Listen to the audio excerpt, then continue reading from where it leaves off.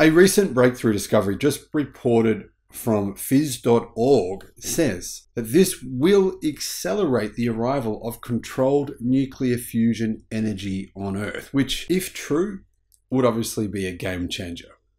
This year has been the hottest year on record. We need something to happen very soon now. Solar, wind, and batteries, they're being deployed really, really quickly, but there's a lot of countries still that are very much into fossil fuels. Something like this could potentially massively speed up the world's decarbonisation. Hello, my friends. Welcome to the channel.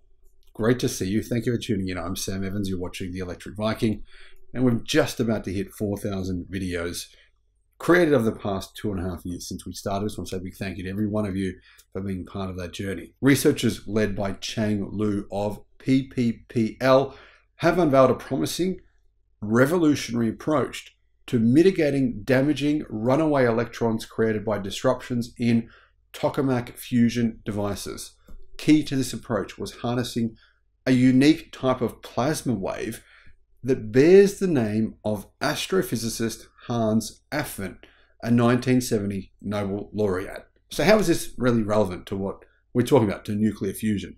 Well, Alfvén waves have long been known to loosen the confinement of high energy particles in tokamak reactors, allowing some to escape and reducing the efficiency of the donut shaped devices. However, the new findings by Chang Lu and researchers at General Atomics, Columbia University, and PPPL uncovered beneficial results in the case of runaway electrons. So you might be thinking, well, what exactly is a tokamak machine? A tokamak machine is a machine that confines a plasma using magnetic fields in a donut shape that scientists call a torus.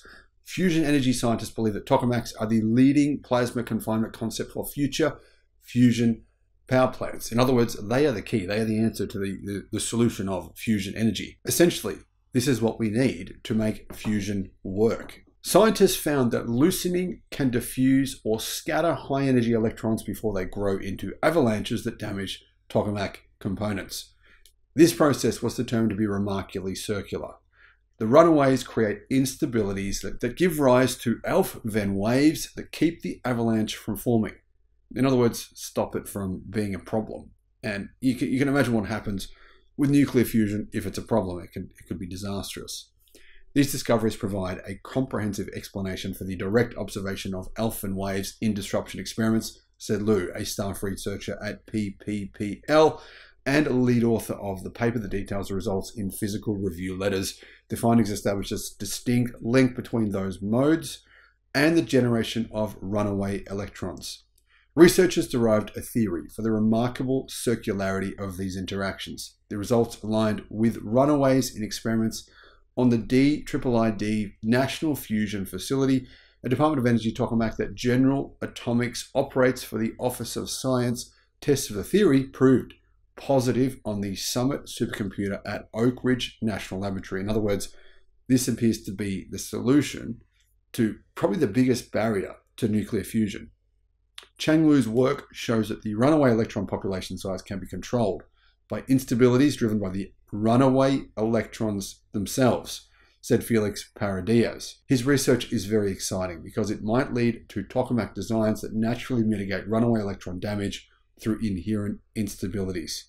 Disruptions. They start with sharp drops in the million degree temperatures required for fusion reactions. For people who are unaware of this, for a fusion reaction to occur, it basically needs to be hotter than the surface of the sun. It's insane. Now, these drops, called thermal quenches, release avalanches of runaways similar to earthquake produced landslides. Controlling disruptions stands as a paramount challenge to the success of fusion. Fusion reactions combine light elements in the form of plasma, the hot, charged state of matter composed of free electrons and atomic nuclei called ions, to release the vast energy that powers the sun and the stars. Mitigating the risk of disruptions and runaway electrons could thus provide a singular benefit for tokamak facilities designed to reproduce this fusion process that the sun is obviously going through on a constant basis. Mitigating the risk of disruptions and runaway electrons would thus provide a singular benefit for nuclear fusion designed to reproduce the process. The new approach will have implications for the advancement of ITER, which is the International Tokamak under construction in France to demonstrate the practicality of fusion energy, and it could mark a key step in the development of fusion power plants. Our findings set the stage for creating fresh strategies to mitigate runaway electrons, Liu said.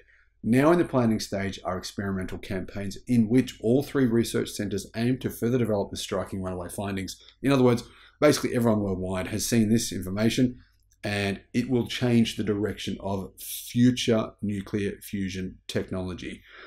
Now, for the first time ever, recently we have actually been able to create nuclear fusion that makes sense. I mean, nuclear fusion has been achieved, but in the past, but it didn't really make sense because we weren't able to get more energy out of the fusion reaction that we were putting in. So it's not economically viable. But for the first time in the United States, last year that changed. And now we do have practical nuclear fusion. However, there's still barriers to actually commercializing this technology. This was one of them. It's now pretty much been solved. Now, I want to make it very clear. I don't really believe that nuclear fusion is the key answer to the world's energy needs. I believe it's complementary, nice to have, and it will certainly help us to accelerate renewable energy faster. But I think that ultimately we have the solution, and that is wind, solar, and battery power. Keep in mind, the cost of wind and solar and batteries has come down exponentially over the past decade. In fact, solar power has come down by over 90% in the last 15 years. Battery technology is coming down in price every single year, and we're now seeing an avalanche of battery, massive giga-sized battery installations worldwide. In my opinion, that is the best solution. But nuclear fusion would be absolutely fascinating if we were to actually see a rollout, as is apparently proposed by numerous countries like France, Germany, and the United States, who all say we're on the cusp of something incredible. Now, let me know your thoughts on this, guys. Do you think I'm right? Do you think I'm wrong? Let me know in the comments. Thanks for watching.